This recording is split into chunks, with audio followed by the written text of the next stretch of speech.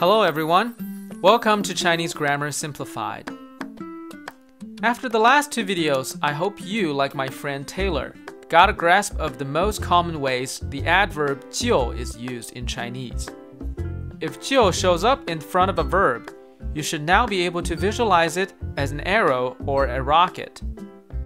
In the third episode of the 就 series, in the next four minutes, we're going to explore more advanced usage of this word as a conjunction. Let's start. Conjunctions are the coordinators which connect the phrases in a sentence. As a conjunction, 就 can still be viewed as an emphasizing arrow. However, its position is different from the adverb 就. Therefore, the meaning it implies is also different. If I say, 爸爸妈妈都忘了买牛奶， 就 Taylor 还记得。It means Dad and Mom both forgot to buy milk. Taylor still remembered. 就 here is used to emphasize that different from dad and mom, Taylor is the one or the only one who remembered. Therefore, based on the context, 就 here can be translated to the English word only or just. Very often, 就 as the conjunction only is actually used with a sarcastic tone of voice in Chinese. For example, if Taylor acts like a know it all to his friend and brags, 我早就告诉你了. As we learned from the last video, it means, I told you. His friend can throw it back and say, 就你聪明. Here, 就 again means only or just. So, very sarcastically, the friend is saying, Only you are the smart one. Now, the more advanced occasions where 就 is used as a conjunction are when 就 works with other characters to form conjunction phrases. Let's take a look at 就算 and 就连.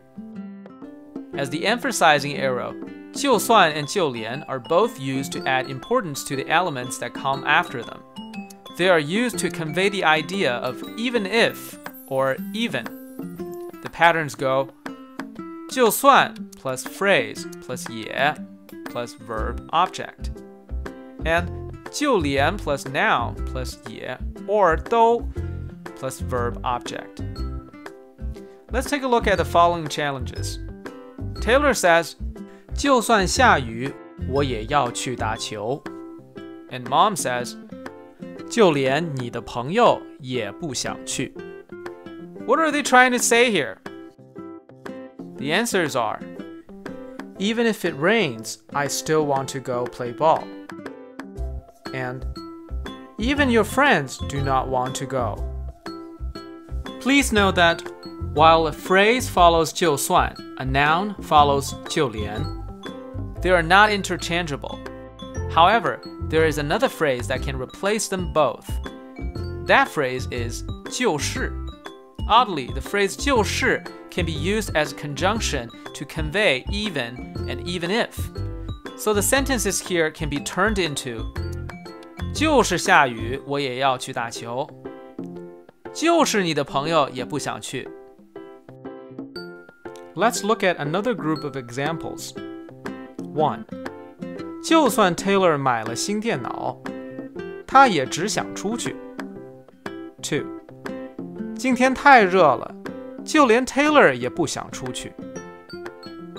Can you figure out what they mean? The answers are Even if Taylor bought a new computer, he would still only want to go outside. And today is too hot. Even Taylor doesn't want to go outside. That's all for today. In the next video, we will look at 就 as a preposition. Some of my students who lived in China are still confused about that one. I'm looking forward to sharing it with you. As always, to help you practice, please take a look at the following English sentences and think about how you would say them in Chinese. You can find the answers on my website. If you have any questions about any Chinese grammar point that confuses you, please leave a comment below. For customized Chinese lessons, please reach me at twincitieschinesetutor.us. Thank you for watching.